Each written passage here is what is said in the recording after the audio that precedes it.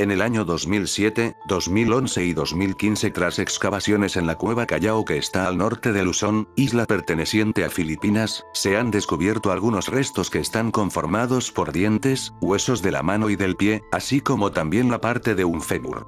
Estos restos pertenecían a dos adultos y un niño. Este descubrimiento recién fue publicado el 10 de abril del presente año 2019 por la revista Nature.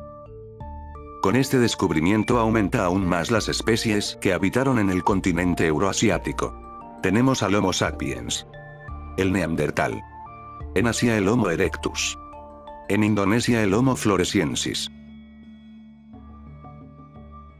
Los Homo lusonensis tienen ciertas similitudes con los Homo sapiens, pero a su vez también tienen semejanzas a los Australopithecus, quien fue el primer homínido bípedo que vivió desde hace unos 4 millones de años hasta su extinción hace 2 millones de años aproximadamente como Australopithecus sediva, ya que se sabe que los Australopithecus fueron un grupo de especies de homínidos entre los cuales tenemos a los siguientes.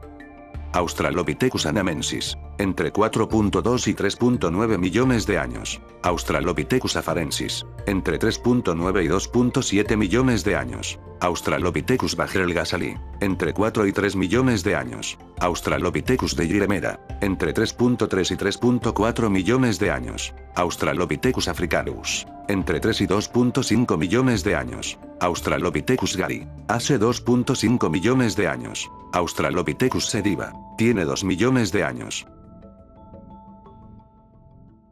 Aún no queda claro quién fue su antepasado, aunque algunos investigadores sostienen que por sus ciertas semejanzas a los Australopithecus, quizá no fue el Homo erectus el primero en abandonar África y que más bien, algunas especies de Australopithecus fueron capaces de llegar al sudeste asiático, donde se encuentra el país insular de Filipinas. Esta sería una de las posibles teorías que se tendría acerca del posible origen de esta nueva especie y la que en lo personal tiene más sentido. Se confirma que eran bípedos gracias a las características del pie. Esto a pesar que trepaban árboles. Pues por la morfología de la mano, sobre todo las falanges, son bastante primitivas. Incluso más semejantes a un Australopithecus. Utilizaban herramientas de piedra y sus dientes, dos premolares y tres molares eran muy pequeños, similar al humano actual, pero sus dientes tienen entre dos a tres raíces por lo que a su vez son bastante primitivas. La existencia del Homo delusonensis data de un aproximado de 67.000 a 50.000 años en el Pleistoceno tardío. Esto más que aclarar, genera aún más dudas sobre la evolución de los homínidos. Además, se sabe que Luzón solo es accesible por el mar, lo cual deja la gran interrogante de cómo llegaron ahí. Aparentemente el Homo luzonensis tenía una estatura muy pequeña y esto podría deberse a la insularidad, pues en las islas, con el tiempo, distintas especies tienden a reducir su tamaño corporal, incluso hasta tener enanismo como el caso del Homo floresiensis. Esta teoría de la posible estatura del Homo luzonensis se debe al tamaño pequeño de su dentadura y también por la parte del fémur encontrado que perteneció a un individuo juvenil.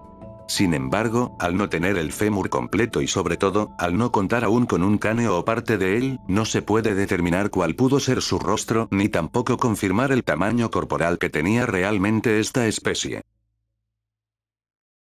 Por lo ya descrito, el Homo luzonensis está catalogado como una especie distinta del Homo sapiens, quienes para ese entonces ya habían migrado desde África hacia el continente asiático hace aproximadamente 90.000 años.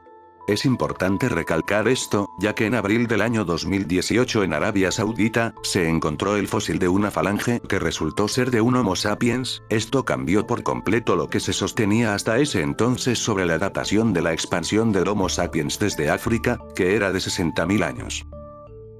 Este descubrimiento fue logrado por el Instituto Max Planck de Etnohistoria, que contó con la participación del Centro Nacional de Investigación sobre la Evolución Humana. El descubrimiento de este fósil del hueso de un dedo es como un sueño hecho realidad para mí, dado que apoya las teorías que nuestro equipo ha estado elaborando por más de una década. Expresó el arqueólogo Michel Petraglia del Instituto Alemán Max Planck. Lo que lo convierte en una nueva especie es la combinación de todas las características que hemos descrito de Homo lusonensis juntas. Cada una por separado se puede encontrar en una o varias especies de homínidos. Esto es lo que indica también que tiene más afinidades con especies del género Homo, que con otros géneros de homínido como Australopithecus o Paranthropus. Si se toma el paquete completo, ninguna otra especie del género Homo es similar. Declaró Florent Detroit, profesor titular del Museo de Historia Natural de París, codirector del proyecto. Aquí la gran duda es por qué todas las especies que había en ese momento se extinguieron menos nosotros.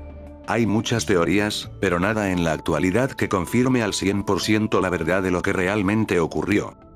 ¿Fue algo natural? ¿Hubo alguna intervención a conveniencia? Recordar a los antiguos dioses mencionados en distintas culturas, como el caso de Sumeria con sus tablillas que narran a aquellos dioses que llegaron a este planeta hace aproximadamente 450.000 años, cuando aún vivía el Homo erectus. Teniendo en cuenta que los sumerios crearon la escritura cuneiforme, esta escritura era plasmada en tablillas de arcilla con la intención de preservar todo lo que ellos vivían. Eso es todo por ahora amigos, espero les haya servido esta información, hasta pronto.